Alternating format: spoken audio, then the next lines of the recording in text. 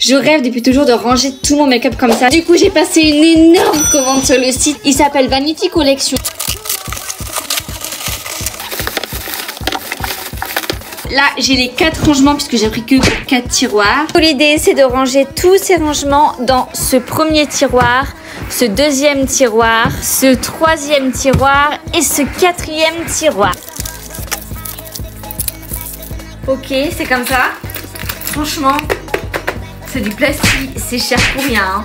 Très honnêtement, euh, ce sont les seuls qui sont à la vraie taille, quoi. Ça qui est chiant. Et le dernier, lui, c'est pas un rangement pareil. Vous allez voir. Donc voilà, le dernier, c'est genre des caissons comme ça.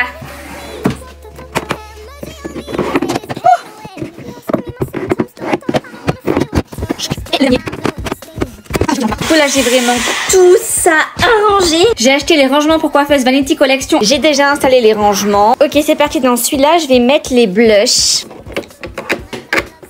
Les Rare Beauty. Là, c'est bon, j'ai tous mes blushs. Et là, je vais mettre mon highlighter. Je vais ranger les produits pour le teint. Et en vrai, ça fait grave vide, hein. Mais je suis trop bête. En fait, ça, c'est plus petit que ça. Du coup, ça fait vide aussi. pour le teint, il reste tout ça.